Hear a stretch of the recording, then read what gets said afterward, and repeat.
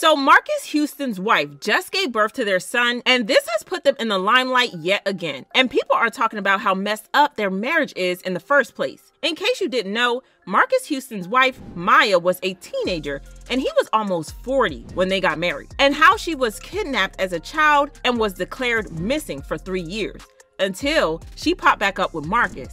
The streets are now alleging that Marques and brainwashed Miya as a child and allegedly hid her from the cops. Y'all, there's a lot going on here, so let's break down this messy story. Marques Houston and his wife Miya just welcomed their second child together, and while this should be a happy moment, people feel a type of way about this, and it opened up new conversations about Miya and how she was allegedly and brainwashed by Marques and how they started dating when she was a minor. So back in 2020, Marques and Miya got married, and this sparked a conversation about their concerning age difference. At the time, Marques was 39 while Miya was only 19. And let's be real, it was weird. What made it even more sus is the fact that they got engaged only a couple of days after she turned 18. And that led people to suspect that they had actually been romantically involved way before Miya turned legal. Like, why on earth was a 38 year old man hanging out with a minor to start with? They tried to claim that they only started dating after she turned legal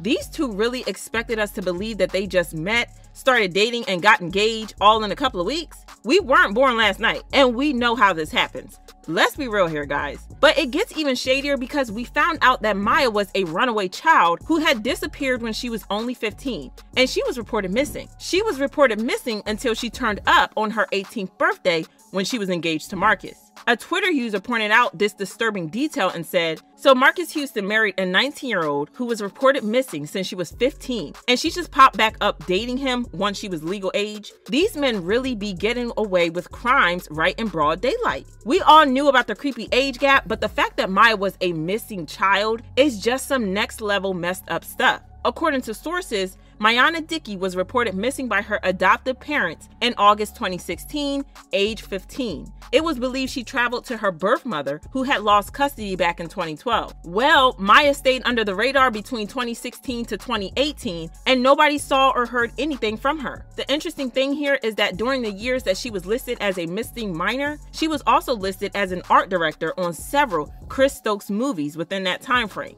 This was weird, because what on earth did a runaway minor know about that? Once people started talking about this, the page mysteriously got scrubbed out of the internet. And if you're wondering what this has to do with Marques, Chris Stokes was Marques's manager.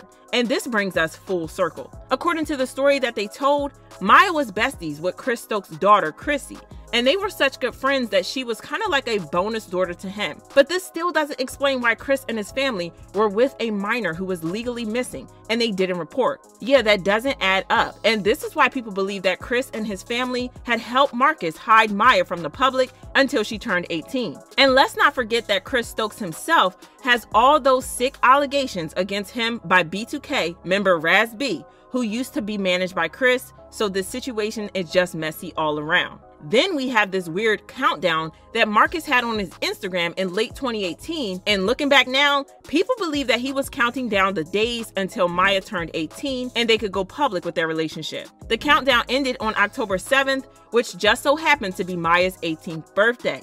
Anyways, Marques tried to defend himself saying, I met Miya in 2018 through a mutual friend.